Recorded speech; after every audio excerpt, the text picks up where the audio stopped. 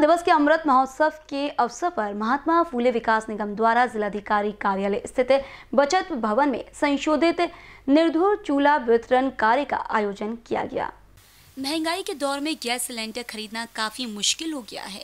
इसके बजाय बिना धुएँ के चूल्हे का उपयोग करने से पैसे की बचत होती है और महिलाओं के स्वास्थ्य को कोई नुकसान नहीं होता है, क्योंकि चूल्हे से धुआँ नहीं निकलता है। इसके चलते अनुसूचित जाति वर्ग के लाभार्थी याचिका का लाभ उठाएँ, ऐसा कलेक्टर आर विमला ने कहा। यह चूल्हा सिर्फ़ उन्हीं लाभार्थियों को मिलेगा जिनके पास गैस सिलेंडर नहीं है। इसके लिए आवेदन के साथ जाति प्रमाण पत्र आधार कार्ड और राशन कार्ड और फ़ोटो की सत्यापित प्रतियाँ संलग्न संलग्न करनी होगी। महात्मा फूले विकास निगम के निदेशक विपिन श्रीमाली के मार्गदर्शन में महाप्रीत कंपनी द्वारा इस चूल्हे का वितरण किया गया।